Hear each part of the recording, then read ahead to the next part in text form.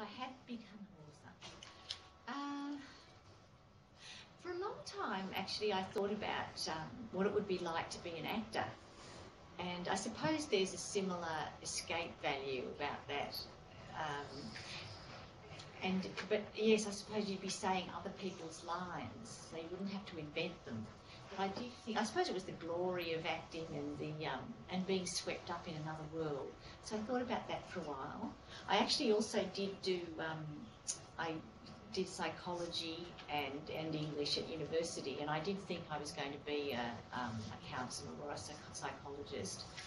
I think actually probably a lot of people who are interested in writing fiction are also interested in psychology or motivation of um, because when you when you write your characters in order for them to be true and real and believable you have to know them pretty well you have to know what motivates them what their dreams are what their problems are and um, and so you know I think well, certainly I was very interested and am very interested in, in psychology and what makes people tick. And, and I'd like to ask you, what are the inspirations that you use when of an idea for your books? Very often an idea will just come to me and take me over, so it's not something I decide. Um, and but, but often if I'm stuck for an idea, I'll, I'll perhaps go and read back again a couple of books that I've really loved. And even though the ideas I have mightn't necessarily have anything to do with that, just the way a story is told, certain energy, it might spark something off. But it's incredible how how um, you know how ordinary often um, your you, the inspiration might be for an idea. For instance, I remember um, having to write a, a short story. It was a, a, short story for teenagers that I promised my publisher, and um, uh, I again I just didn't have an idea. I'd been in a, back in another world doing doing um, a younger novel and for teenagers, and I don't think at that stage I'd ever written for teenagers. So I said, what am I going to write about? I don't know, I don't know. And um, it was getting very close to deadline time, so I was pretty anxious about it. And, and one afternoon I was driving up to the shops, had to go and get stuff for dinner, and, and um, I put the radio on, and, uh, and there was John Dengate. Anyway, he was telling this amazing story, I thought it was amazing, about mutton birds. And he said he'd been out camping and um, he'd come across these mutton birds. And mutton birds have a really rigid flight path. Um, they keep to it no matter what, and they fly every year from Australia around Tasmania up to um, Siberia and Japan, and they follow a particular path always. And they have this inner programming that is so strong, they're almost blind to the outer world. And in fact, John Dengate had unfortunately put his tent in, in the way of these particular mutton birds at a particular mm. time, and they flew right at the tent and knocked it over, and you know, he had a sleepless night. So he was talking about this, and I thought, oh that sounds, something really sort of sparked off in me. I connected with it. And, um, and I pulled over to the side and I got out my shopping list and on the back of the envelope I just started writing a few things about rigid inner programming, flight paths and inability to see the outside world. And, and I thought, I know some people like that.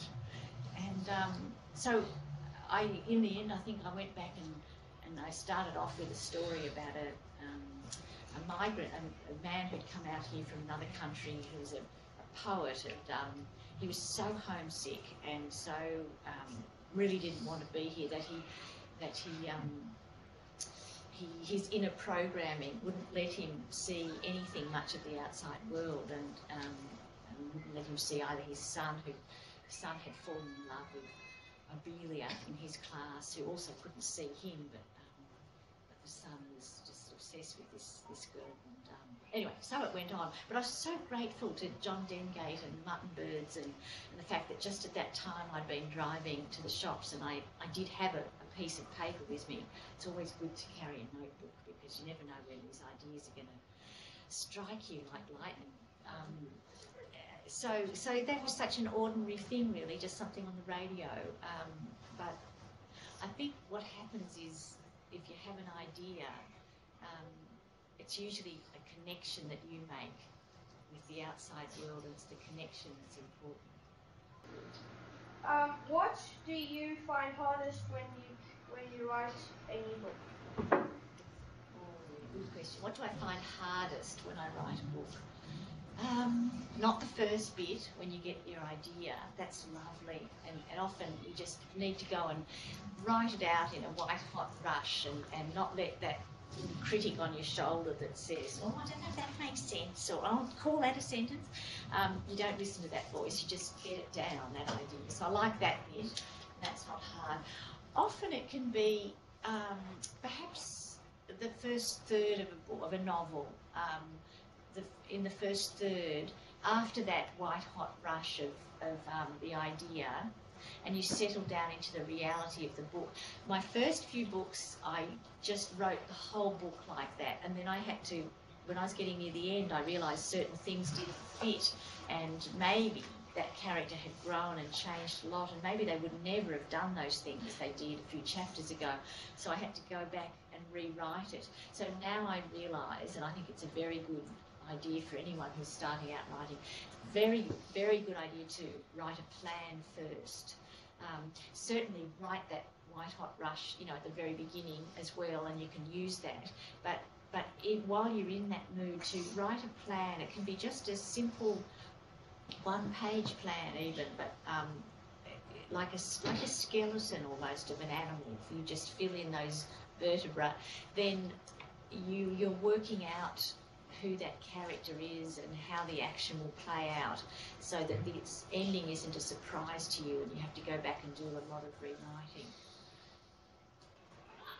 Does your inspiration to write come more from real life experiences or from imagining what if?